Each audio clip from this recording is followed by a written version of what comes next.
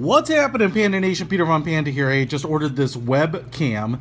It's a 1080p. So, you know, I have a cheap webcam that's like, I don't know, 480 by 620 or something. So I ordered this because it was kind of one of the highest resolution cameras I could find for an inexpensive price. Uh, you know, some of the other ones by Logitech and whatnot aren't bad, but um, they get kind of pricey. I mean, 70, 80 bucks, and it's just a webcam. I use it so infrequently. But one of the things that I wanted to do is I want to do a YouTube live video coming up here pretty soon to share some info with you. And as well as, uh, you know, video chatting for work or whatever might be. You know, there's lots of reasons to have webcams, and they're usually not built into kind of external computer monitor. So I just wanted to show this one to you and then we'll kind of test it out and see what kind of video we get with it. Obviously we have a pretty long cable here with a weight USB, so it should plug into pretty much any computer.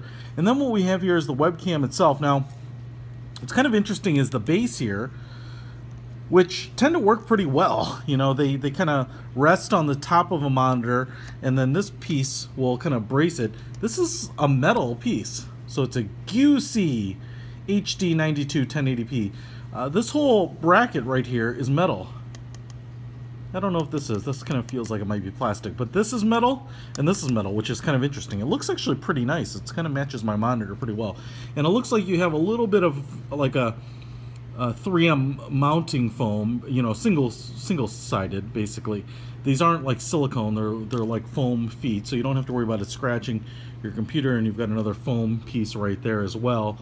And adjustable, and it seems to have pretty good resistance, so it should stay there. The, the cable kind of connects on the backside there. Then the, the webcam, which is a little bit interesting, is a pretty wide silver plastic piece.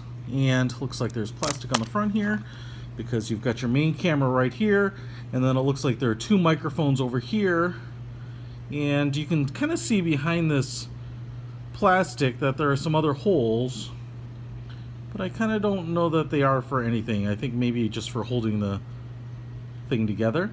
So camera and microphones. And then we have some buttons up here. Oh it looks like a camera button. So maybe take some stills and then looks like it's a speaker or a light button something like that. So I'm not entirely sure what that is but hopefully we'll we'll find out. Um, I assume this is going to be just pretty much plug and play.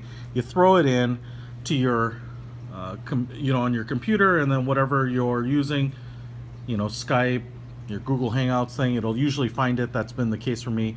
But let's go ahead and plug it in and see what kind of video and audio quality we get out of it. Now, I'm not going to use any external microphones, um, so I'm just going to plug this in and let it record video and audio with this device itself.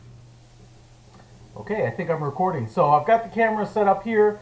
Uh, you know, the lighting in this room isn't the best in the whole world. Yeah, the, uh, the housing around the lens, I noticed you can twist and adjust it. So you have to dial in the focus depending on how far away you are from the camera. Uh, it's actually pretty close to what it should have been based on me sitting here, but that's going to have to be adjusted uh, when you get it yourself. Now, I, I'm noticing that at least the picture quality to me looks like it's a little bit better resolution than my other uh, webcam, which was pretty poor, but, you know, worked. This little guy right here. But it, it was only, you know, 480 pixels or 420 pixels, something like that. So this is what I'm getting with this. Uh, you know, I'm, I'm, I'm speaking pretty loud. I'm kind of a loudspeaker. I'm a little bit of a shouter. Uh, so you kind of keep that in mind. But in terms of video and audio quality, this is what you can expect from it. So I'm hoping that this little guy is actually going to be a slightly better option as I shoot some computer-based videos. Peter Von Panda. Out!